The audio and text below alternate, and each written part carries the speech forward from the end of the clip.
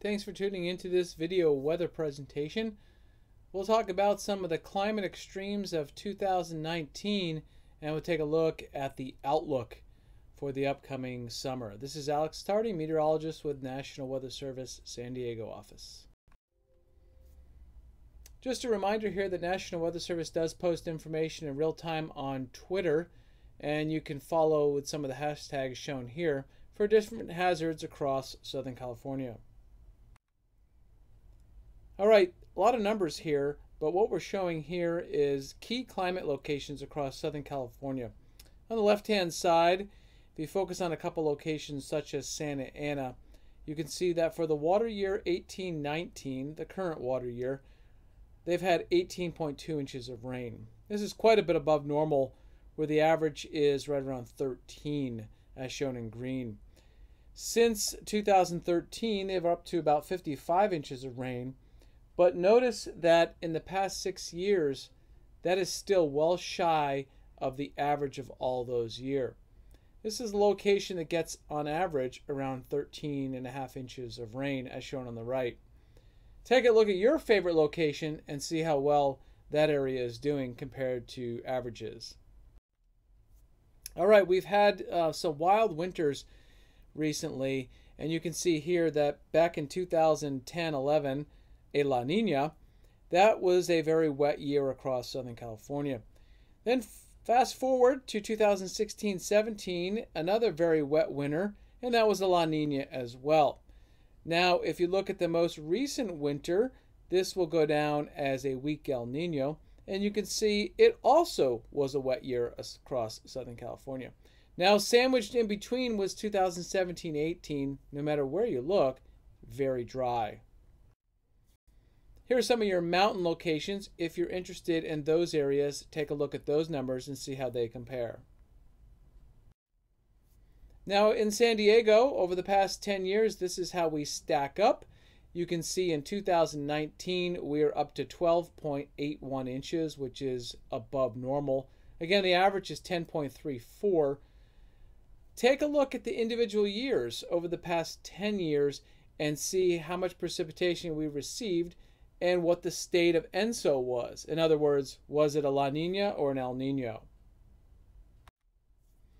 All right, very extreme across Southern California the past two years.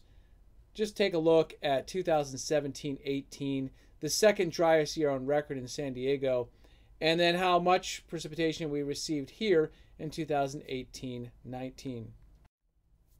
All right, we're going to take a look at some extreme events over the past several years here. Now here's a look at the summary of one of our driest years on record. Take a look at some of the bullet points here, including the record warmth, record dry, and record sea surface temperatures, but on top of that, record humidity in Southern California. What was going on in 2018? Well, we had moisture that came up from tropical cyclone Sergio. That was one big event in the fall. That resulted in a widespread lightning outbreak across Southern California, as shown here, with hundreds of lightning strikes detected. It also resulted in flash flooding, as shown here in these photos, across the deserts.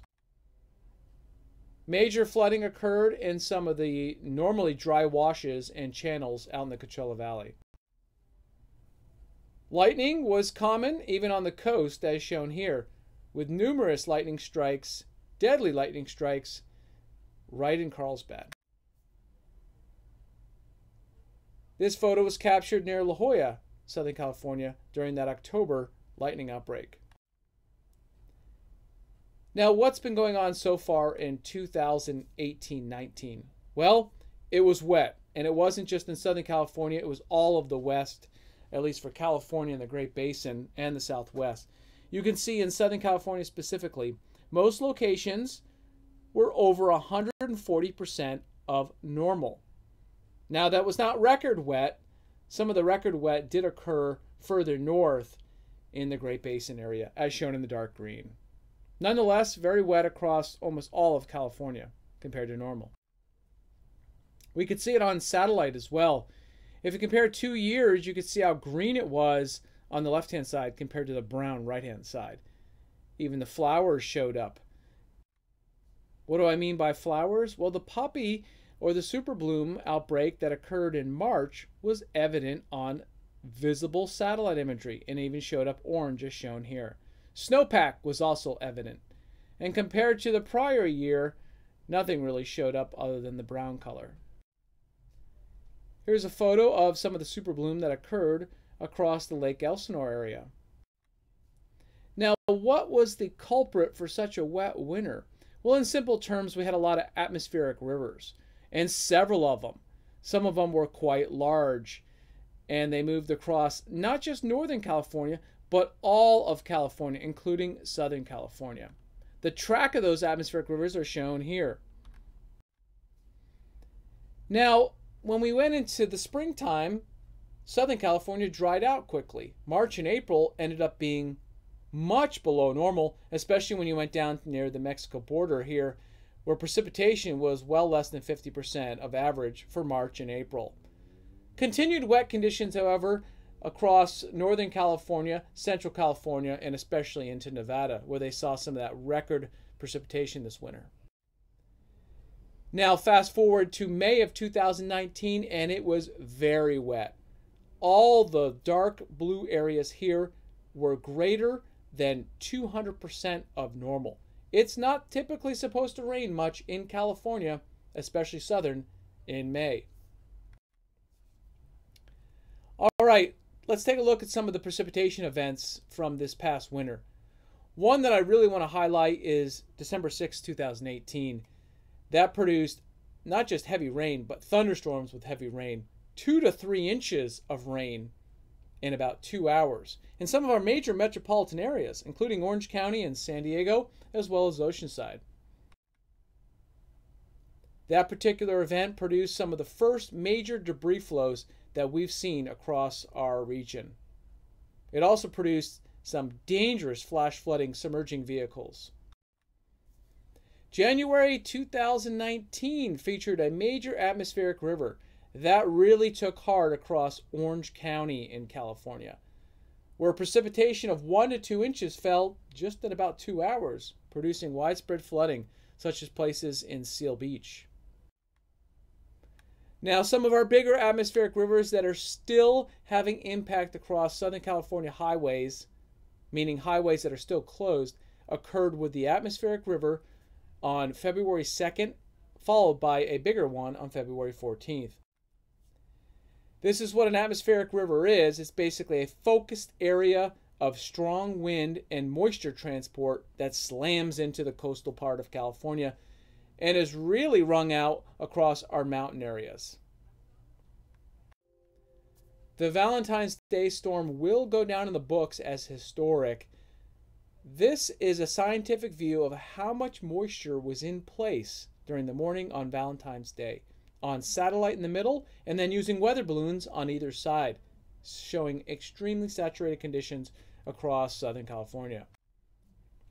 The impacts were great, and the impacts are still being felt with highways such as 74 and 243 closed. Widespread flooding, very high snow levels, including damaging winds. Highways across Southern California that are still closed are shown here. This is Highway 243 and 74 up by Idyllwild. Severe impact occurred. Now, so much rain occurred that construction is continuing to repair and replace and rebuild these roads. Across Idyllwild, where these roads were damaged, 5 to 10 inches of rain fell in about 24 hours.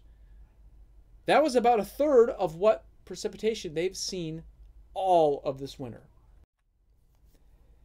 Now, if you look across Southern California and 2019, you can see here that precipitation ranks well above normal. And that's mostly due to the several major atmospheric rivers that we saw, including the one in December, January, and the two big ones in February. How does it rank across our region. Well, looking at specifically the heart of winter, December through February, we can see much of the United States was very wet, with very unusual wet conditions in the Tennessee Valley and abnormally wet conditions across California, but not the wettest. So far in 2019, we are starting off quite cold, but it's been above average.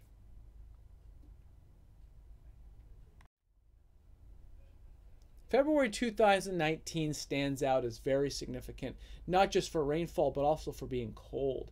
Temperatures across the west were much below normal, and in fact, across California, you can see it was the top 10% below normal. A very cold February, in some cases, record breaking. How cold was it? Well, February really stood out. We saw record cold in some of our city locations such as Vista, Ramona, Anaheim, and Big Bear Lake, as shown here.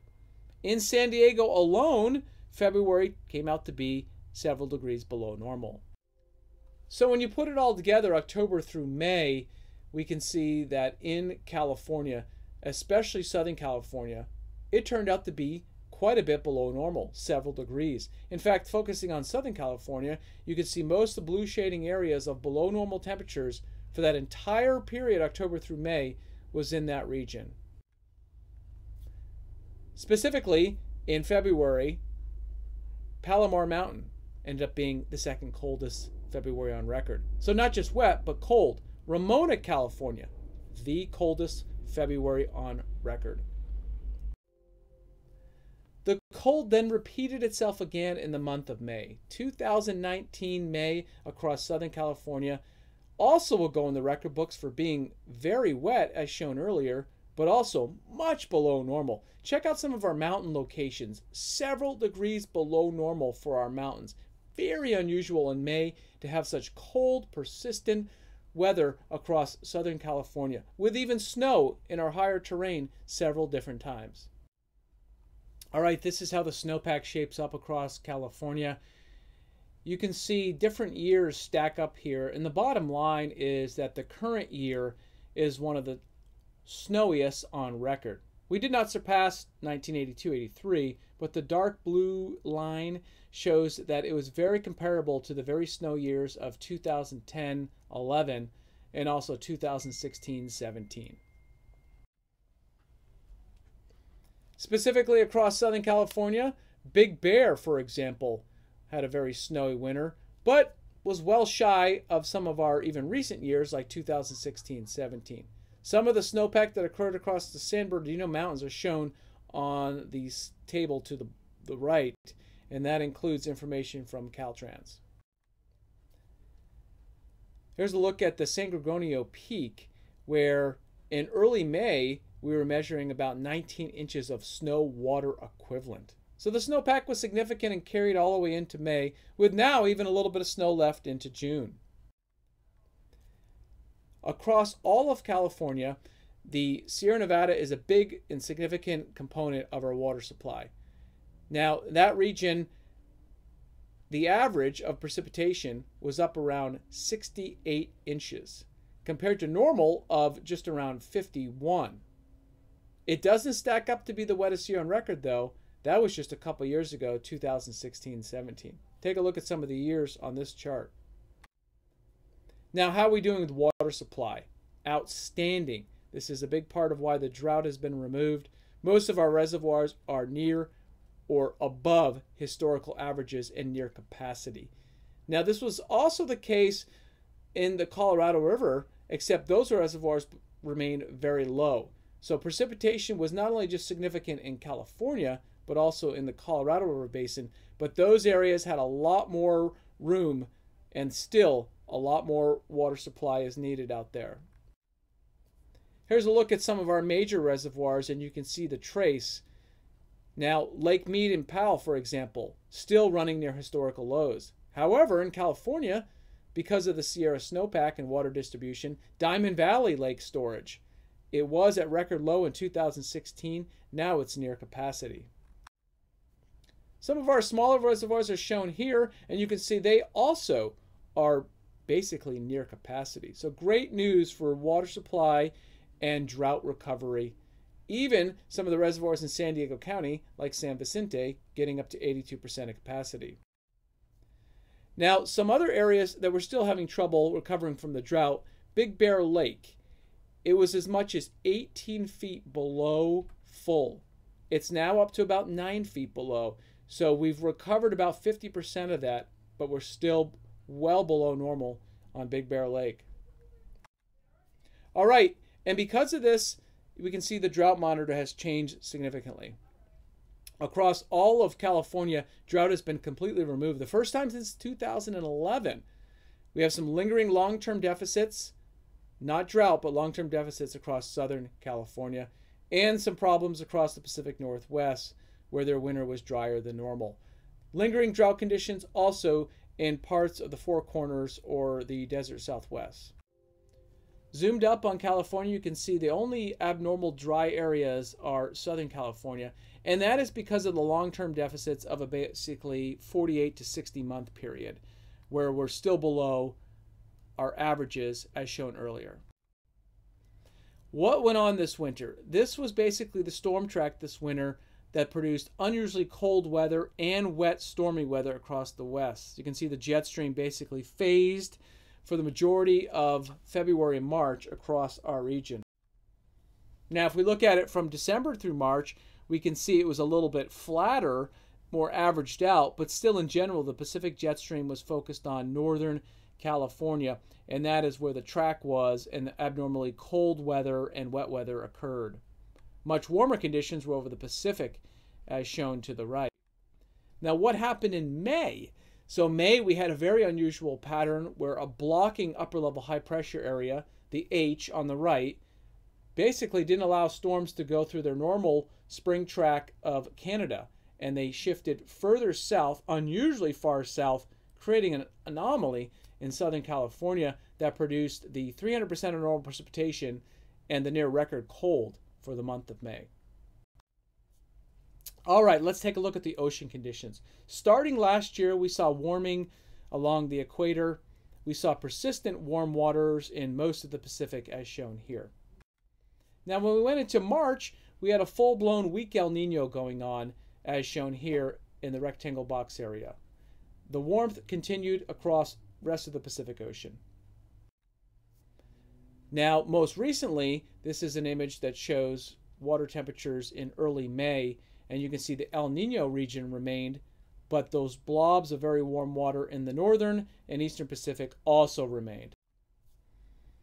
And this is an image from early June, and you can see a lot of persistent above normal sea surface temperatures in the central and northern Pacific. Meanwhile, the weak El Nino continues to linger across the equator. All right, here's a summary of everything we talked about, including the very wet 2018 19 that led to the super bloom, the El Nino conditions we saw, basically the removal of drought across California's, and now our above average reservoir levels and the very high but not record breaking snowpack. Here's the outlook now as we look forward for July through September. The outlook is for warmer than normal conditions for this summer and a more active monsoon across most of the Great Basin and the Four Corners region of the Southwest.